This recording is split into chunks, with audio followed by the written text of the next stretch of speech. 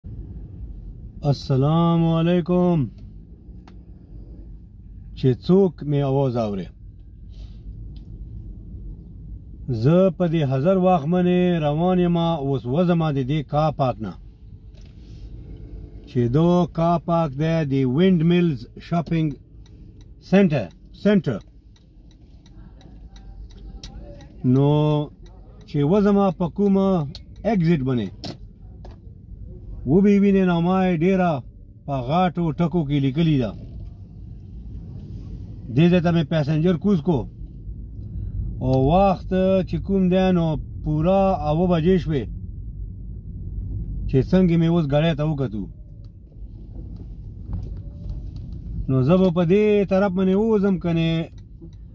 راننوتم دې ځای ته په هغې دویم انټري باندې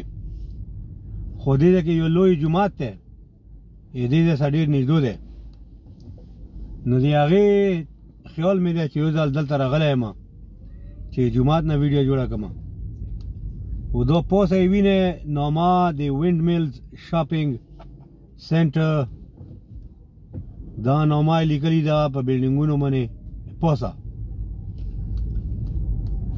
نو په ولایت کې دا شاپینګ سنټرونه ډیر دي ویل چې بس بیزی ملک ته